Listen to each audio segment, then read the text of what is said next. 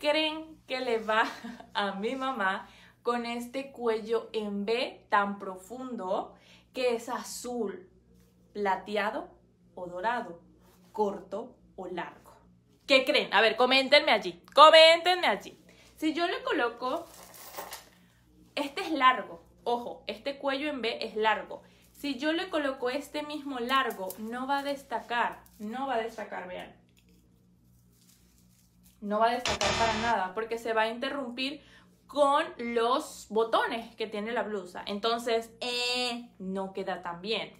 En cambio, exacto, Lupita. Ay, no me perdón.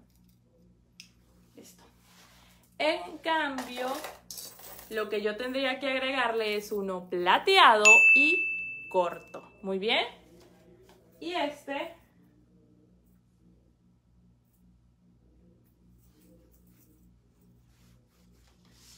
Voilà, se ve muchísimo, pero muchísimo mejor el corto. ¿Ok? Si lo ven? O puedo utilizar uno mediano que esté hasta acá. Que no, que no esté largo porque no va a destacar y me va a quitar como este este efecto tan bonito que tiene. O sea, no quiero competir con la blusa, quiero acompañarla, quiero abrazarla, quiero, quiero jugar con ella, pero no quiero em, opacarla, ¿ok? O también lo que puedo hacer es utilizar qué tipo de arete. A ver, ya que ustedes vieron y conocen de los trucos, ojo, tampoco me gustaría que si tienen azul, coloquen otro azul, por ejemplo, en collar. Este es bellísimo, chicas, este collar es bellísimo. Pero vean, si yo lo coloco acá, no destaca, no se ven, porque ambos son azules, ¿sí lo notan? Entonces no destacaría. ¿Cuál sí destacaría? El rojo que les enseñé hace ratito.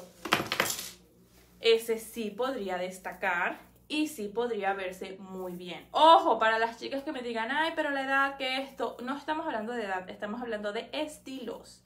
Y el estilo, el estilo no tiene edad, chicas. Así que Claro, evoluciona como tú puedes evolucionar este, tu personalidad, porque acuérdate que el estilo viene de tu personalidad.